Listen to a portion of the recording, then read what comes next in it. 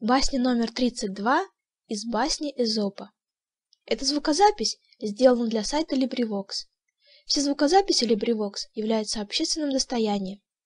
Для более подробной информации или регистрации в качестве волонтера, пожалуйста, посетите LibriVox.org.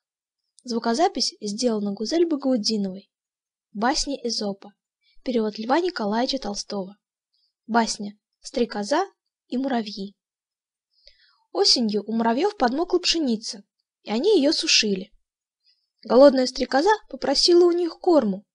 Муравьи сказали, «А что ж ты летом не собрала корму?» Она сказала, «Не досуг было, песни пела». Они засмеялись и говорят, «Если летом играла, зимой пляши». Конец басни «Стрекоза и муравьи».